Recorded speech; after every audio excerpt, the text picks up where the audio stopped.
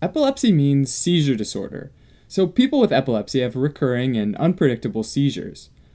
A seizure is a period where cells in the brain, or neurons, are synchronously active, or active at the same time, when they're not supposed to be. Now, when I say neurons are active, I mean that they're firing, or sending a message using electrical signals relayed from neuron to neuron. And if you look at a neuron under a microscope, each electrical signal that passes through it is really just ions flowing in and out through protein channels.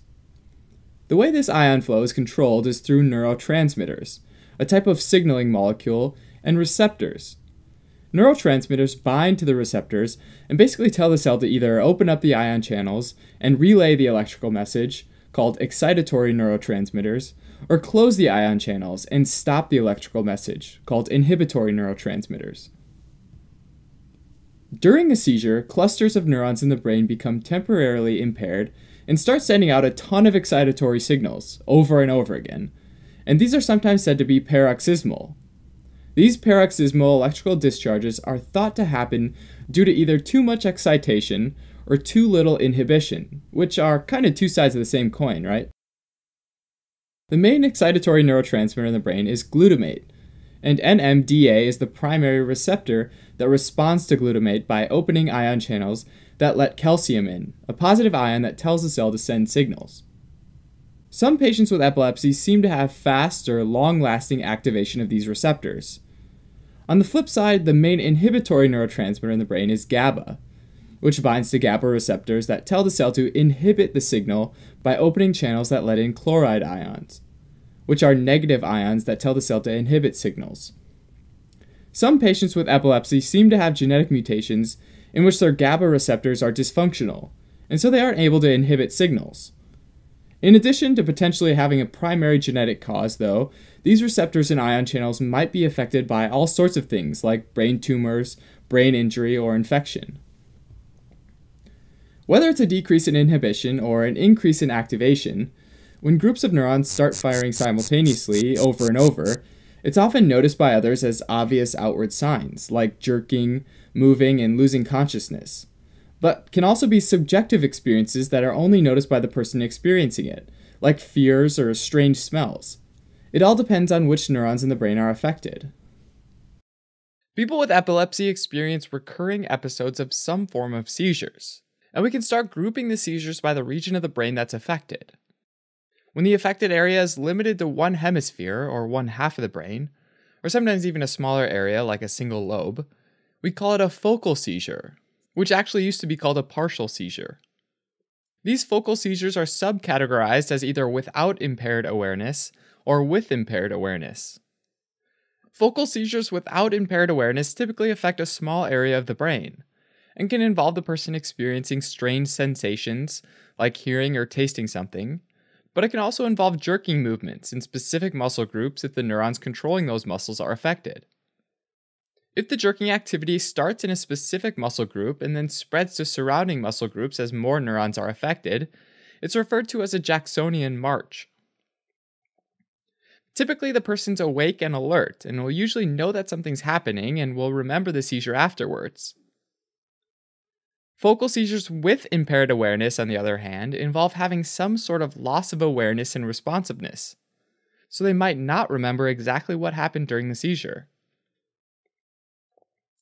Now, in contrast to a focal seizure, a generalized seizure is where both hemispheres of the brain are affected.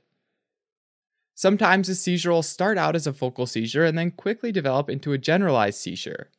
And in those situations, it's called a focal onset bilateral tonic clonic seizure because a focal seizure came before it and was the primary event. Just like focal seizures, there are some subcategories of generalized seizures as well. One subtype is a tonic seizure, where the muscles all of a sudden become stiff and flexed, which can cause the person to fall, often backwards. On the flip side, they can be atonic as well, where their muscles suddenly relax and become floppy, which again can cause the patient to fall, but this time forward. Seizures can also be clonic, where they have violent muscle contractions, also known as convulsions. Tonic clonic seizures are the most common generalized seizures, where people experience a tonic phase where the muscles suddenly tense up, followed by a clonic phase where muscles rapidly contract and relax. Myoclonic seizures are yet another type and are short muscle twitches, sometimes just a single twitch, but sometimes many in a short amount of time. Finally, there are absence seizures, where patients have some sort of impaired awareness or responsiveness, generally with the only outward sign being that the person looks like they're spaced out, like if they're walking and then they suddenly stand still. The key for all these is that they all involve both hemispheres of the brain. If the seizures do last for a longer period of time, like over 5 minutes of ongoing seizures or having multiple seizures without returning to normal in between, then it's called status epilepticus. And these are usually the tonic clonic subtype of seizures, but it can also be caused by other types that don't involve convulsions. This situation is considered a medical emergency and can be life threatening if not treated immediately. Due to the severity of these seizures, patients are often treated acutely with benzodiazepines, which help enhance the effect of the inhibitory neurotransmitter GABA. Following a seizure, sometimes patients experience certain symptoms, like confusion, called post-ictal confusion, which means after seizure confusion. Also, patients might experience paralysis that affects the arms or the legs, usually just limited to one side of the body. And this is known as Todd's paralysis or Todd's paresis, and can last for quite a while, on average about 15 hours.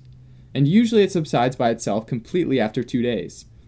The precise mechanism behind Todd's paralysis isn't currently well understood, but it's thought to be the result of temporary but severe suppression of activity of the area in the brain affected by the seizure. Typically, after a seizure is over, patients will have brain imaging techniques like MRI or CT scans, as well as an EEG, or electroencephalogram, which detects electrical activity in the brain. With patients who've just started having seizures, brain scans are used to find out if there are any anatomical abnormalities, like brain tumors or abnormal blood vessels that could be causing the seizures, of which would be treated surgically. Because epilepsy can vary from patient to patient in the type, severity, and frequency of the seizures, diagnosis typically involves a variety of examinations and tests in combination with a thorough evaluation of their clinical history. Once epilepsy has been diagnosed, it's often treated with daily medication, the primary form of medication being anticonvulsants of which there are a wide variety of options available that have different targets in the brain. So the choice is based on the specific needs of the patient, including factors like age, lifestyle, other health problems, and the category or subcategory of the epilepsy syndrome. Other treatment options include epilepsy surgery, where they'll remove what's thought to be causing the seizures, like a specific part of the brain or a tumor. Nerve stimulation might also be considered, where certain nerves like the vagus nerve are stimulated, which is thought to control seizures by influencing neurotransmitter release. Also, patients might adopt a ketogenic diet, which is a diet that forces the body to burn fat instead of carbohydrates, which produces ketone bodies, which are then used by the brain as an energy source instead of glucose. Although many hypotheses have been suggested for why this seems to reduce seizures for some patients, the exact mechanism isn't very well understood. Alright, as a quick recap Epilepsy is a disorder where somebody experiences recurring seizures, where neurons fire over and over again. Focal seizures typically only affect one localized area of the brain, like one hemisphere, and can be split into those with impaired awareness and those without impaired awareness. Generalized seizures involve both hemispheres, and there are a bunch of subtypes, though the most common are tonic clonic seizures.